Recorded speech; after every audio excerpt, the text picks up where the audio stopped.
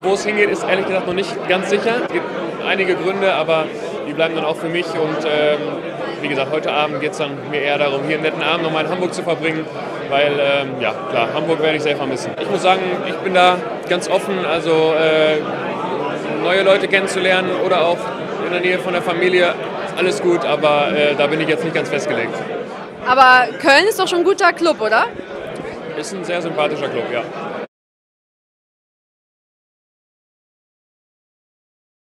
Wir haben uns natürlich eigentlich gewünscht, eher ein bisschen äh, weiter oben mitzuspielen. Jetzt ist es so, dass wir einfach gegen den Abstieg kämpfen und da alles tun wollen in den letzten sieben Spielen, um genügend Punkte zu sammeln, dass wir einfach äh, im Mittelfeld bleiben und nicht dann noch in die, in die äh, Spirale nach unten rutschen.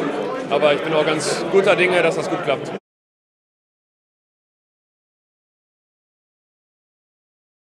Ja, ich glaube, das macht jeder Spieler anders. Ich bin schon jemand, der immer äh, auf die Tabelle schaut, äh, was könnte passieren, wenn wir jetzt gewinnen, die anderen so spielen. Äh, ist für mich immer schon spannend.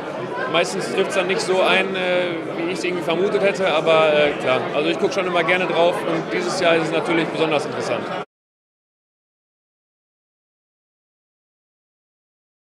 Erstmal hoffnungsvoll bin ich auf jeden Fall sehr, weil äh, unsere Mannschaft, viele Spieler kehren jetzt zurück aus Verletzungen. Ähm, da sind wir gut aufgestellt. Und für uns ist natürlich ganz wichtig, dass wir einfach äh, die nächsten zwei Spiele erfolgreich bestreiten, vor allem natürlich gegen Aue.